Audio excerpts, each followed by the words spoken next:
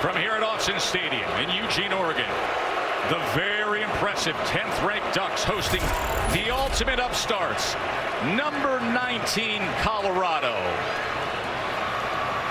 This Colorado defense has not seen a quarterback like Bo Nix this year, and they certainly haven't seen a guy in total control of his offense the way Nix is.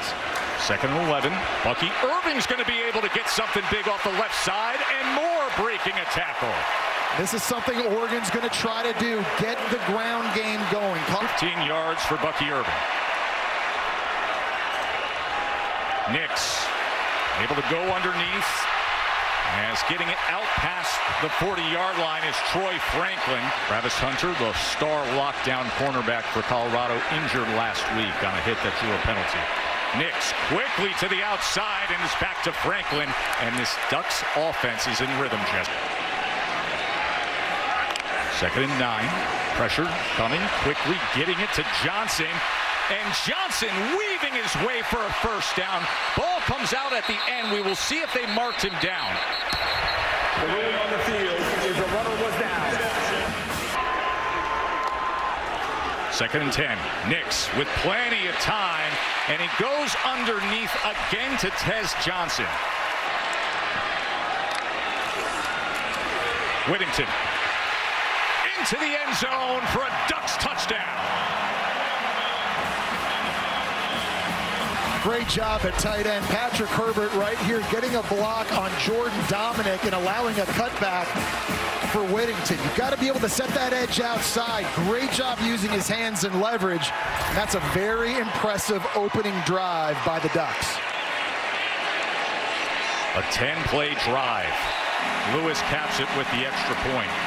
And now he's putting 11 guys on the field to try to take him down. Whittington. Well blocked for Noah Whittington and another chunk play for Oregon. Now he's responding. Third down and 10. Nix is going to keep it.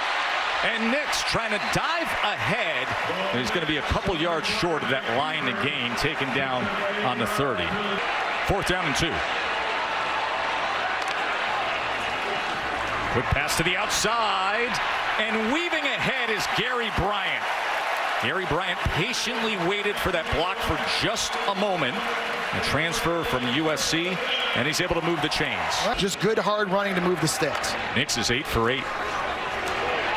Irving as he goes ahead for nine yards. Trevor Woods on the back end with a tackle. Orbit motion from Franklin. Irving stacked up, trying to break free, kept his balance somehow, and fights his way to the five-yard line. Nix quarterback run, and then a throw, and then getting into the end zone is Casey Kelly. Swinging gate formation for Oregon here on the PAT. That's Patrick Herbert lined up, and he's going to take it. That was actually not Herbert who ended up with a direct snap as he typically does. Instead, that was Ross James. Jimmy Horn's the return man, and he's at the other 40. It's the first punt for Ross James. And they are going to fake it. And it is going to work out. Would you look at this? That was from their own 17-yard line as they fake it with Casey Rogers, the big 300-pound defensive tackle. Now, Casey Rogers was an excellent lacrosse player. He had a scholarship offer to play lax at Syracuse, so the big man can run. Look at this. Everybody from Colorado is looking at the punter who's rolling out to the right.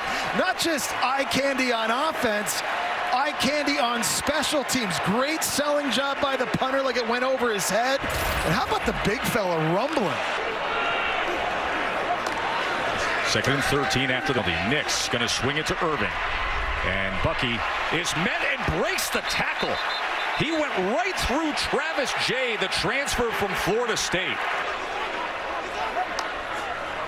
Third down and nine. Nix with time, shallow cross goes underneath, and Franklin Another flag at the end of that play as Franklin gets enough for the first down. Probably a face mask at the end of this play to Troy Franklin. Personal foul. face mask. Defense number four. 15-yard penalty be added to the end of the play. Automatic first down. And it makes for a second and 21. Irving splitting defenders and getting it and more. First down, Ducks. Second and seven. Whittington taken down from behind. Troy Franklin, number 11, right now lined up against Travis Jay, the Florida State transfer who's missed time with a knee injury out to his left down here one-on-one. Third and two, Nix to the end zone, and it's into the arms of Troy Franklin.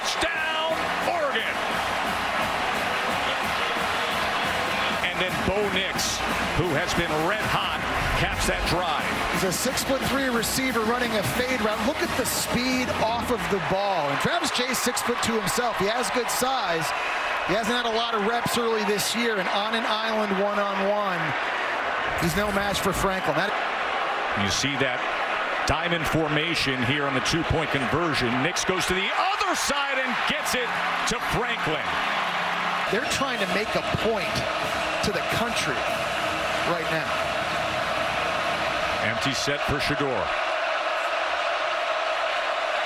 As time before that happens. Eventually it closed down, and it was the transfer from the SEC doing damage out west, Jordan Burch.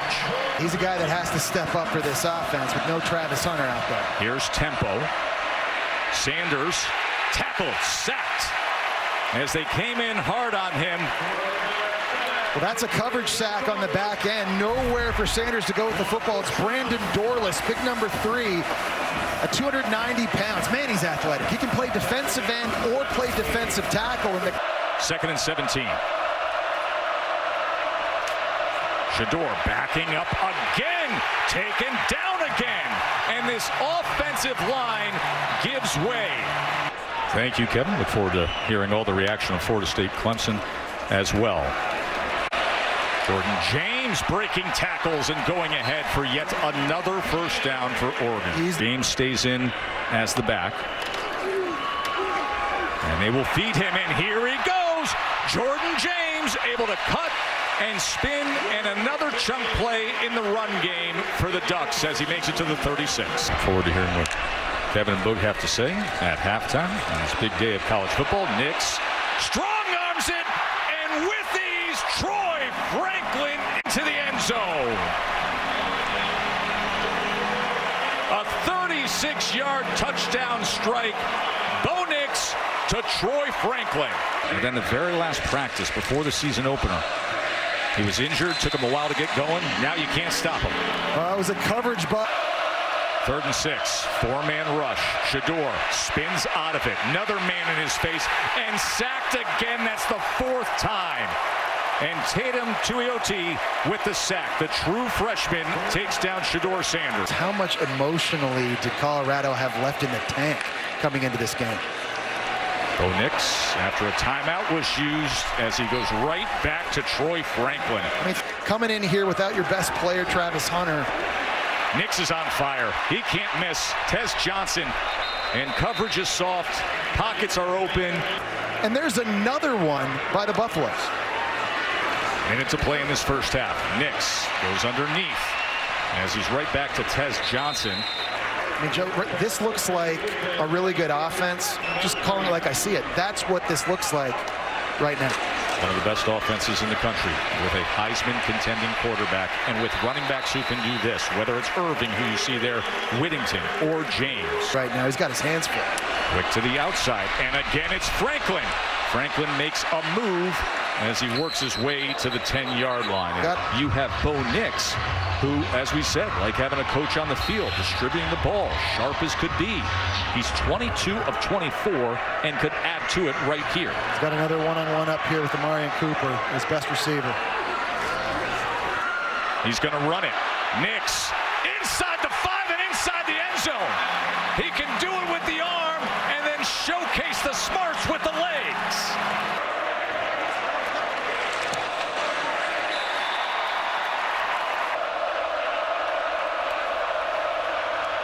Play action on second and four, and a man right in his face again.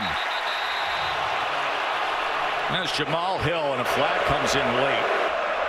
You got to wonder what is the answer? How do you deal with it as the season continues when you've got such a weakness with this offensive line? Johnson backed up inside the 10 and he chooses to return it makes a good decision doing so out to the 23 yard line. Second and seven. Whittington. He catches the seam, and it'll be another first down for Oregon, eventually taken down by Trevor Woods. Domineck wasn't able to make the tackle, and it's another explosive play on the ground. Cornelius with a great block, and there is the slant on the in cut by Holden, the transfer from Alabama. These last two seasons. Nix, plenty of time to do that. Traeshon Holden wide open. It's a nice design by Will Stein, the offensive coordinator. He's James, and they get more. Remember what he said to Katie George. We are not satisfied. We are not done.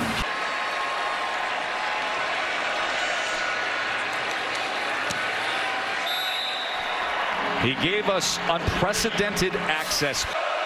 Third and six. He got run over from the outside, from the inside. Evan Williams again. Little Dylan Edwards couldn't hold up.